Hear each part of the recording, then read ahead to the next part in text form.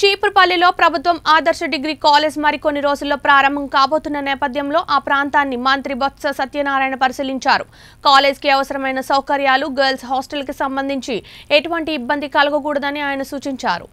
విద్యార్థులకు సరిపడా ఫ్యాకల్టీ తప్పనిసరిగా ఉండాలని మంత్రి బొత్స స్టాఫ్కు సూచనలు ఇచ్చారు. కాలేజ్ వారం రోజుల్లో ప్రారంభం అవడానికి త్వరితగతిన ఏర్పాట్లు పూర్తి చేయాలని ఆయన తెలిపారు. ఈ కార్యక్రమంలో విజయనగరం జిల్లా పార్లమెంట్ సభ్యులు బెల్లాన చంద్రశేఖరరావు విజయనగరం రాజకీయ వ్యవహారాల సమన్వయకర్త మజ్జి శ్రీనివాసరావు తదితర నాయకులు పాల్గొన్నారు. దయచేసి కాలేజీకి సంబంధించిన వాళ్ళు ఉండండి. మిగతా బయట పెట్టండి మా సబ్జెక్ట్ వచ్చినప్పుడు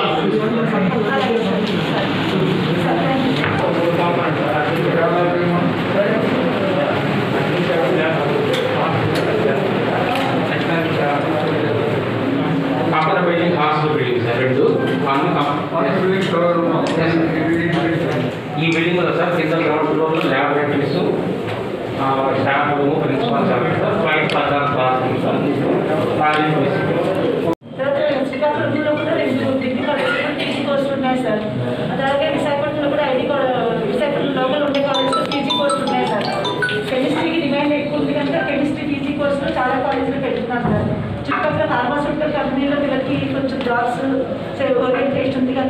అందుకని కెమిస్ట్రీ పీజీ చాలా పెడుతున్నారు. మరి ఇన్నాళ్ళు ల్యాబొరేటరీ ఫెసిలిటీ లేక మేము ప్రయత్నం చేయలేదు సార్ సెకండ్